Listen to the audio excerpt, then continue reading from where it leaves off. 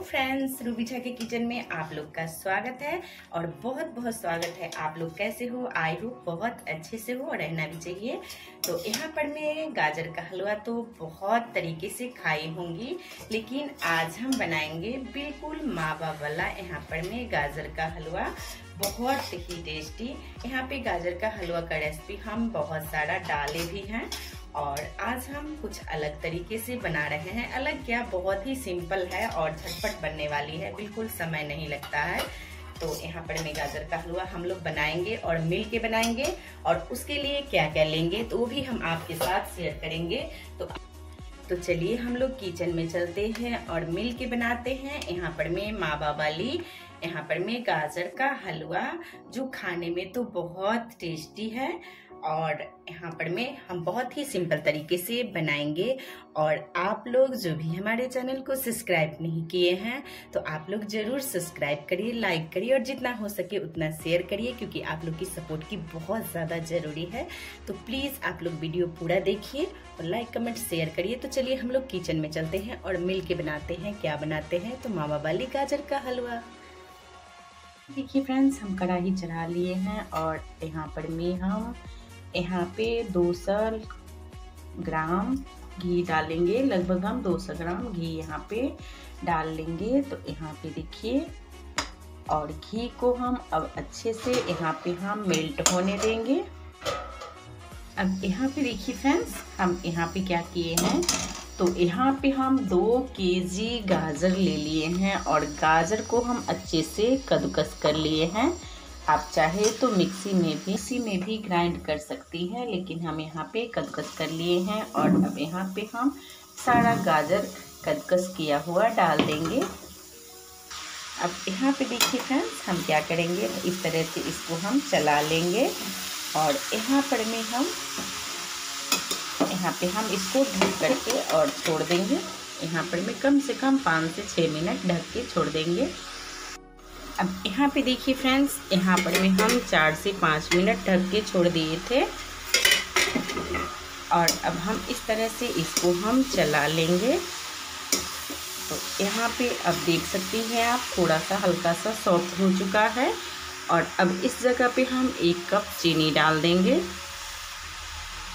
तो मीठा आप जितना खाती होंगी तो उस हिसाब से आप यहाँ पर में चीनी ऐड कर सकते हैं। और अब हम इसको कम से कम यहाँ पर में 12 से 15 मिनट तक हम इसको पका लेंगे अच्छे से। तो यहाँ पे हम ढक के वापस से फिर छोड़ देंगे। यहाँ पे देखिए फ्रेंड्स यहाँ पर में छः से सात मिनट हम यहाँ पे बिल्कुल यहाँ पर में जो गैस है कम करके और यहाँ पे लो करके छोड़ दिए थे। अब यहाँ पे देखिए जो गाजर का कलर है वो आप देख सकती हैं। जो कितना बढ़िया है, इसमें हम बहुत ज़्यादा चीनी ऐड नहीं किए हैं। मीठा आप अपने हिसाब से डाल लीजिएगा। और अब यहाँ पर में हम क्या करेंगे तो अब यहाँ पर में देखिए जो हम यहाँ पर में तीन सौ ग्राम हम खोआ ले लिए हैं। तो यहाँ पर में हम दो के जी मूली, गाजर लिए थे और यहाँ पे हम तीन सौ ग्राम इसमें हम खोआ डाल देंगे। तो इस तरह से अब हम खोआ के साथ इसको हम मिक्स कर लेंगे। अब यहाँ पे देखिए फ्रेंड्स पूरे यहाँ पर में हम हलवा को 12 से 15 मिनट हम हलवा को पका लिए हैं अच्छे से। अब यहाँ पे हलवा का कलर आप देखिए, जो कितना बढ़िया यहाँ पे हलवा बन चुका है। हलवा तो हम कितना रेसिपी डाल चुके हैं और बहुत तरह की आप हलवा खाए होंगे।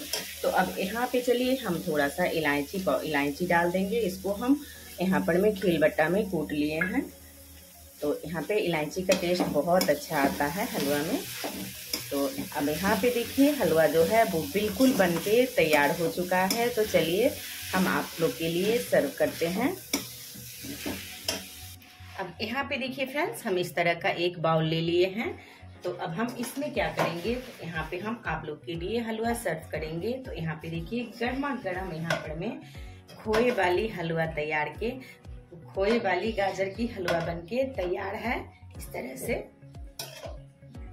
अब यहाँ पे देखिए फ्रेंड्स हम आप लोग के लिए गर्मा गर्मा हलवा यहाँ पर में बहुत ज़्यादा गर्म है अभी। हलवा सर्व कर दिए हैं और अब ऊपर से हम थोड़ा सा यहाँ पर में हम काजू और बादाम से गार्निश कर देंगे। इस तरह से तो अब यहाँ पे देखिए फ्रेंड्स आप लोग के लिए गर्मा गर्म हलवा बनके तैयार है। यहाँ पर मैं खोए वाली गाजर की हलवा तो आप लोग सर्व करिए और यहाँ पर मैं बहुत ही टेस्टी हलवा है। तो आप लोग जब बनाएँगी, खाएँगी, तब आप लोग को पता चलेगा। तो आप लोग को ये मावा वाली गाजर की हलवा का रेसिपी कैसा लगा? तो आप लोग हमारे चैनल को जो भी सब्सक्राइब नहीं किए हैं तो वो आप लोग सब्सक्राइब कर लीजिए और जितना हो सके उतना शेयर करिए अपने दोस्त, अपने रिश्तेदार में। और चैनल को लाइक करना बिल्कुल मत भूलिए। और सपोर्ट भी करिए, क्योंकि आप लोग की सपोर्ट की बहुत ही ज़रूरी है। तो प्लीज़ आप लोग हमारे चैनल को ज़रूर से शेयर करिए और सब्सक्राइब करिए। तो चलिए फिर मिलेंगे इसी तरह आपसे एक न्यू रेसिपी के साथ। तब तक आप लोग वीडियो एंजॉय करिए और बनाइए और कमेंट करके ज़रूर हमको बताइए। और आपके लिए हमको क्या बनाना है तो वो भी आप हमें ज़रूर कमेंट करके बताइएगा और अपना अनुभव हमारे साथ शेयर करिएगा। तो चलिए हम फिर मिलेंगे एक नए रेसिपी के साथ, तब तक के लिए ठीक है बाय